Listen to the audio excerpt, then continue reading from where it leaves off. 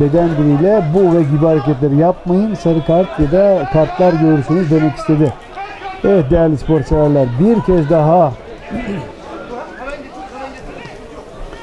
yüksek bir orta